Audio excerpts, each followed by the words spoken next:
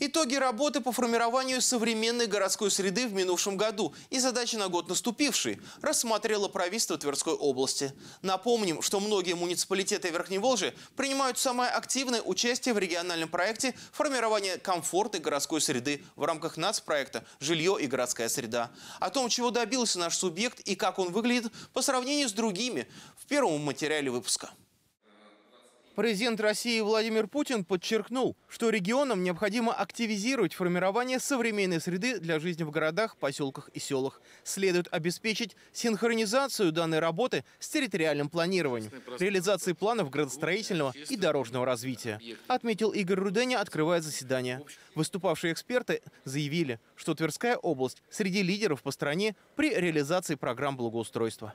Мы в десятке, если даже там не буду говорить про пятерку, но представляете, что есть там это Татарстан, Подмосковье, Нижнегородская область, Ленинградская область.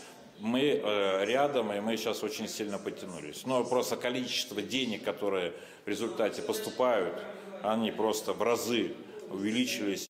Особое внимание нужно уделить активности муниципальных образований и граждан в подготовке к реализации проекта. Важно мнение жителей о том, как должна быть обустроена среда в месте их постоянного проживания. Это касается как дворов, так и крупных общественных пространств, отметил губернатор, подчеркнув, что земляки оправдали ожидания правительства Верхневолжья. Хотел бы сказать отдельное спасибо нашим гражданам, которые неравнодушные, приняли участие в голосовании, в выборе проектов, в выборе территорий, э, которые необходимо э, было привести в порядок.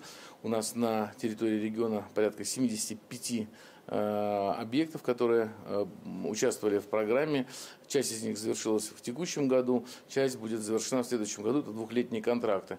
Прошедшем году в Тверской области реализованы все запланированные проекты благоустройства в 38 муниципалитетах. Обустроена 71 общественная территория и 19 дворов. Завершены 4 проекта победителя Всероссийского конкурса создания комфортной городской среды в малых городах и исторических поселениях в Калязне, Нелидове и во многих других. Ржев сумел, молодец Крылов, сделать это за год. Вот за это, да, мне кажется, очень такой интересный получился проект. Кашин, вот он сейчас э, вообще должен быть очень красив, э, должен быть красивым. Торопец, понятно. Бежецкий великолепный горсад. С моей точки зрения, как раз он просто полностью соответствует той картинке, той концепции, которая была заложена изначально.